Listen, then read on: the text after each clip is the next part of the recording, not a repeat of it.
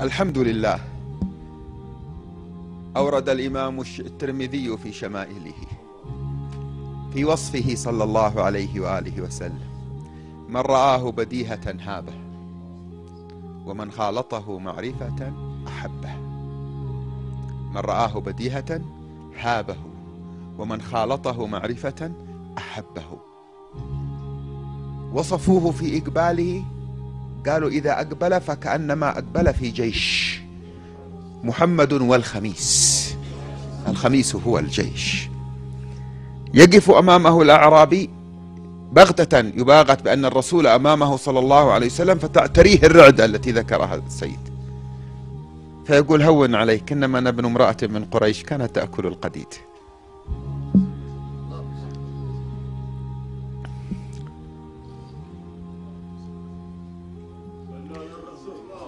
الشان هنا والسر هنا.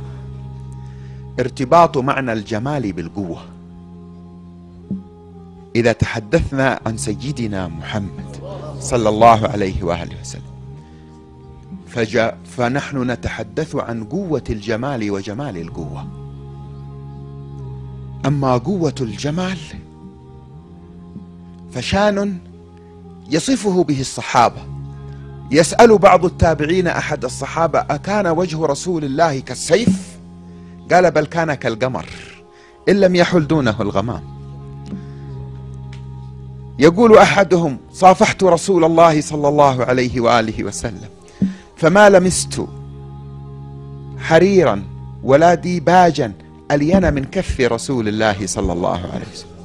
يقول الآخر قبلت كف رسول الله. فكأنما أخرجت من جونة عطار من كيس الطيب. يقول الآخر كان إذا مر من طريق عرف من طيبه أنه قد مر فيه. يأتي المار في الطريق يشوم هكذا رايح يقول كان رسول الله هنا في هذا الطريق قد مر.